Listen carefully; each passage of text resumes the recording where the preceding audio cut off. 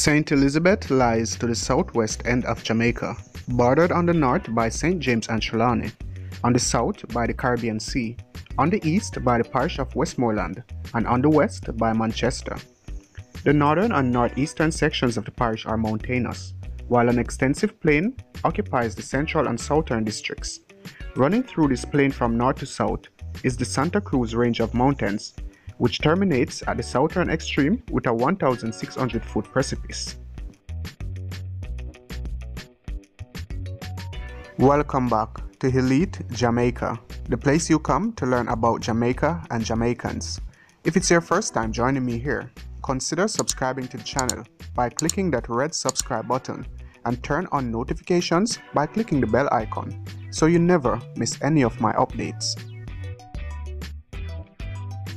St. Elizabeth is one of the oldest parishes in Jamaica. Originally including much of the western section on the island, it was split to form parts of Westmoreland and Manchester in 1703 and 1814 respectively. St. Elizabeth was named in honor of Lady Elizabeth Modyford, wife of Sir Thomas Modyford, governor of Jamaica between 1664 and 1671.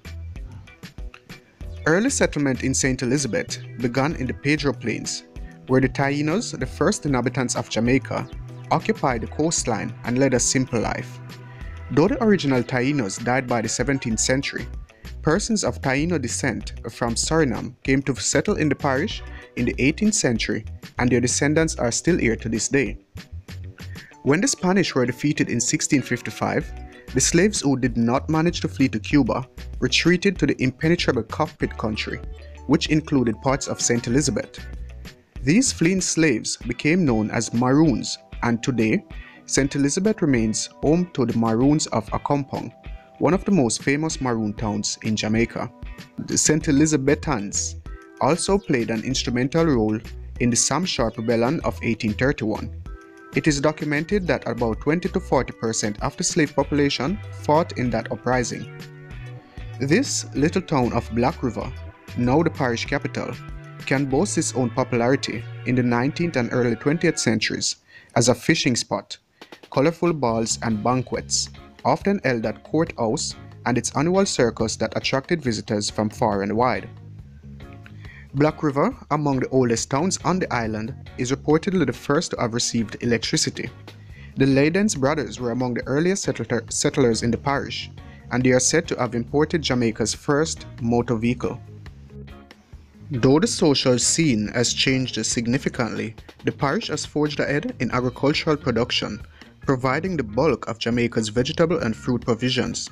The Black River supports an important shrimp and freshwater fishery, and best of all, St. Elizabeth's diverse geographical patterns make for a landscape as rich and varied as the heritage of its people.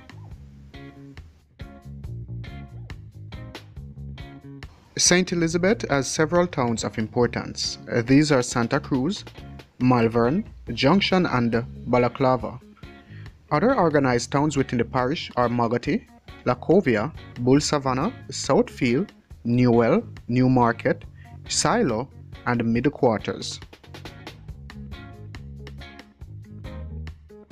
The Cockpit Country is a large area in west central Jamaica that derives its name from the cockpit karst limestone, which has the appearance of an overturned egg tree. This area measures approximately 450 kilometers squared, and though centered in the parish of Trelawny, has extensions into St. Elizabeth. The Cockpit Country vegetation is the largest and most intact example of wet limestone forest in Jamaica. Its flora exemplifies the outstanding endemism of West Indies, and most of Jamaica's 550 native ferns grow in this area. The Honorable Roger Clarke was the Minister of Agriculture from 2012 up until his death in 2014. A former mayor of Black River in St. Elizabeth, Clarke was Member of Parliament for Northeast St. Elizabeth between 1991 and 2007. The Honorable Barbara Gloudon, Communication Specialist, playwright and journalist, was born in Malvern, St. Elizabeth. The Right Honorable Donald Sangster, born on October 26, 1911 in the parish of St. Elizabeth, was a Jamaican solicitor, politician, and the second Prime Minister of Jamaica. The Honorable Alfred M. W. Sangster, well-known educator and founding president of the University of Technology, formerly the College of Arts, Science and Technology, was born on July 24, 1929 in the parish of St. Elizabeth.